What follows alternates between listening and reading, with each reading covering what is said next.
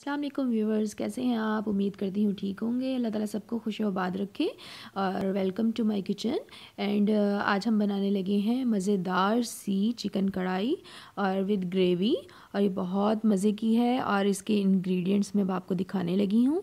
सबसे पहले मैंने लिया है एक अदद प्याज, बड़े साइज़ का मैंने इसे कट कर लिया है मोटा मोटा और मैंने लिया है लहसन सात से आठ जब्वे अदरक का एक टुकड़ा लिया है वन टेबल स्पून के बराबर, दो अदद टमाटर लिए हैं बड़े साइज़ के गार्निश के लिए हरा धनिया थोड़ा सा और एक हरी मिर्च ली है। और अब मैं आपको दिखाऊँगी मसाले। नमक लिया है हसब ज़रूरत, लाल मिर्च वन टीस्पून, हल्दी वन टीस्पून भर के, और धनिया पाउडर लिया है वन टीस्पून, ज़ीरा वन टेबल स्पून और वन टीस्पून ही मैंने लिया है गरम मसाला, और वन टेबल मैंने तकरीबन एक से डेढ़ चम्मच मैंने लिया है कढ़ाई मसाले का। और दही लिया मैंने वन बाउल, और अब हमने एक बर्तन में मैंने ऑयल डाल दिया है। अब मैं इसमें प्याज फ्राई करने लगी हूँ। प्याज को हमने गोल्डन फ्राई कर लेना है अच्छी तरह। और ये बहुत मज़े की रेसिपी अपने घरों में ज़रूर ट्राई कीजिएगा और कमेंट सेक्शन में मुझे बताइएगा आपको ये रेसिपी कैसी लगी। अब प्याज फ्राई हो गए हैं, अब अब इन तमाम चीज़ों को हम ग्राइंड कर लेंगे। सबसे पहले मैंने लहसन, अदरक, टमाटर और फ्राई किए हुए गोल्डन ब्राउन प्याज मैंने इसमें डाल डाल दूँगी जग में और इसको अच्छी तरह मैं ग्राइंड कर लूँगी। चिकन मैंने लिया है आधा किलो और इसके बाद हम इसे ग्राइंड कर लेंगे और चिकन को अच्छी तरह मैं ग्राइंड करने के बाद एक साइड पे रख दें इसको और चिकन मैंने ले लिया है हाफ़ के जी और हाफ़ के जी से थोड़ा सा ज़्यादा होगा ये और इसको अब मैं फ्राई कर लूँगी, अच्छी तरह इसकी भुनाई कर लूँगी और भुनाई करने के बाद इसमें मैं अपना मसाला ऐड करूँगी। ये अपने घरों में ज़रूर ट्राई कीजिएगा, ये बहुत मज़े की रेसिपी है।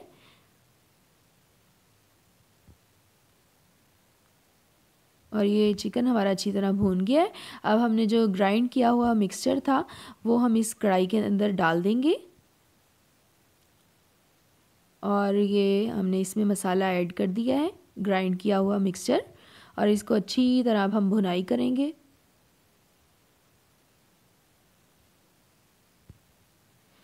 फ्लेम आपने मीडियम रखना है, ज़्यादा तेज़ नहीं करना।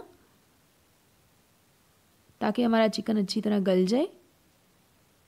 और इसकी अच्छी तरह हम भुनाई कर लेंगे। और अब ये इसमें मसाला जात ऐड करूँगी मैं।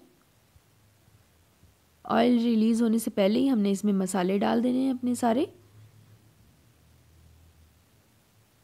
और इसको अच्छी तरह मिक्स करके हमने इसकी भुनाई करनी है। और इसका पानी अच्छी तरह हमने खुश्क कर लेना है। अब इसको मैंने थोड़ी देर के लिए ढक के रख दिया है ताकि हमारा चिकन जो है अच्छी तरह गल जाए। और इसको अब हमने खोला है पाँच मिनट बाद।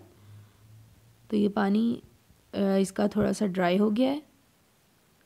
पानी ड्राई करने के बाद हमने इसको अच्छी तरह भुनाई करनी है। अब इसको फिर मैंने ढक दिया पाँच मिनट के लिए और मैंने इसे खोला है तो इसका पानी काफ़ी हद तक ड्राई हो गया है। अब इसकी अच्छी तरह भुनाई कर लें। जब तक इसकी भुनाई करें, जब तक कि ऑयल रिलीज़ ना हो जाए। अब इसमें दही ऐड कर देंगे। जब ऑयल हल्का हल्का रिलीज़ होने लगेगा तो हम इसमें दही ऐड करके इसकी अच्छी तरह भुनाई कर लेंगे। और अब इसे तब तक पकाएँगे जब तक कि इसका ऑयल रिलीज़ ना हो जाए। और ये बहुत आसान recipe I hope you enjoy this video and please share like and subscribe and press the bell icon और ये ऑयल रिलीज़ होना शुरू हो गया है।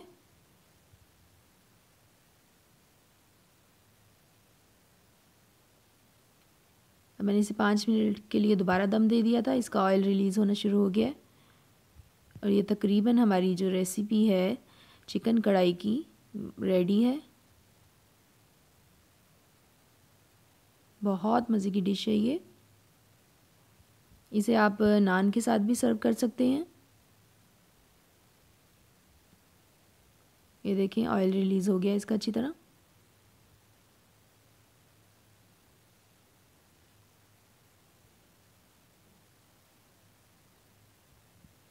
मैंने ऑयल रिलीज़ होने के बाद इसमें मैंने हरा धनिया और हरी मिर्चें जो मैंने काट के रखी थी, एक अदद बड़े साइज़ की हरी मिर्च ले ली थी मैंने और थोड़ा सा हरा धनिया काट लिया था गार्निश के लिए और ये हमारी रेसिपी रेडी है। I hope you enjoy this video and please मेरी रेसिपी को लाइक कीजिए शेयर कीजिए सब्सक्राइब कीजिए। ओके जी, अल्लाह हाफिज़।